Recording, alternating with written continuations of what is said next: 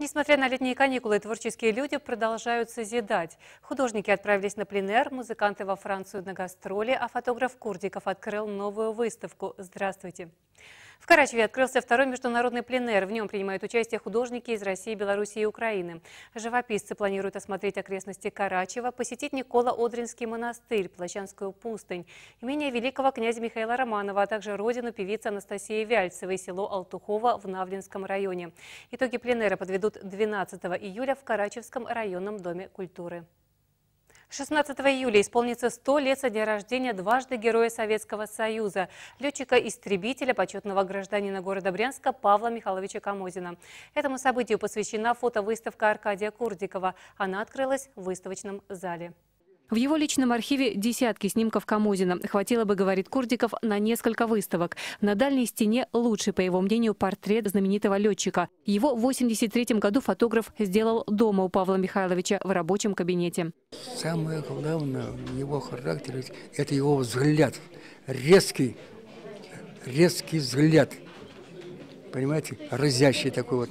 Вот я понимаю, где-то там в боевой обстановке он, как он говорил, кто первый заметил противника, тот и победил.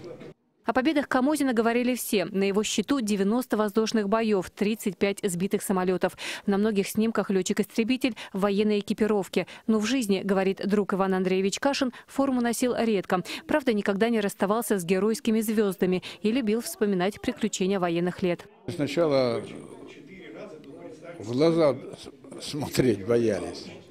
Вот. Стеснялись, вернее. Ну, а впоследствии, когда ближе познакомились, он оказался простейшим человеком,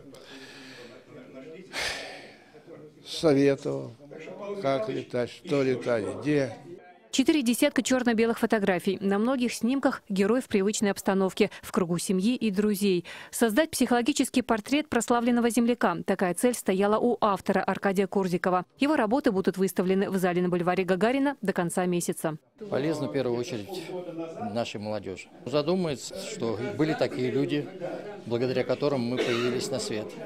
Брянский губернаторский симфонический оркестр под управлением заслуженного артиста России Эдуарда Амбарцумяна отправился на гастроли во Францию.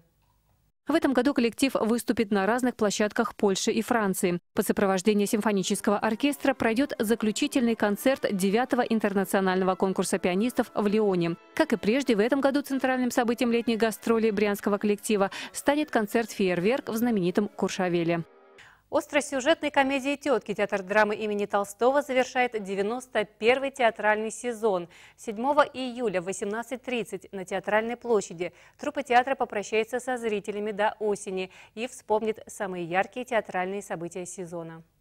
Несмотря на официальное закрытие, творческая работа не останавливается. Сейчас идут репетиции сразу двух спектаклей. Их публика увидит уже осенью. В новом сезоне, обещают в театре, будут и интересные постановки, и спецпроекты, и приятные сюрпризы. В субботу 8 июля с 9 утра на площади перед Свято-Троицким кафедральным собором начнутся праздничные мероприятия, посвященные Дню памяти святых благоверных Петра и Февронии Муромских.